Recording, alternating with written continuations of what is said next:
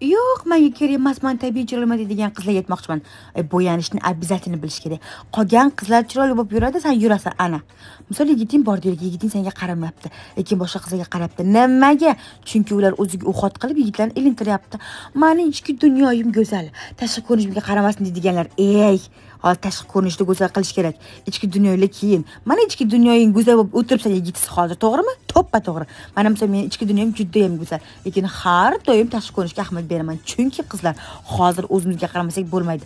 Juda pul ekonom qilgin kelyaptimi? Ovqatini ekonom qil zato ozasan. Так что tashqi ko'rinishni go'zal qilinglar. Ichki короче e, dey qizlarjonlar agar sizlar ham makiyaj qilishni o'rganishni xohlasanglar instagram akkauntimga подписка bo'lib olinglar yoki bo'lmasa mani makiyaj kurslarimga kelib o'rganishinglar mumkin bo'ladi.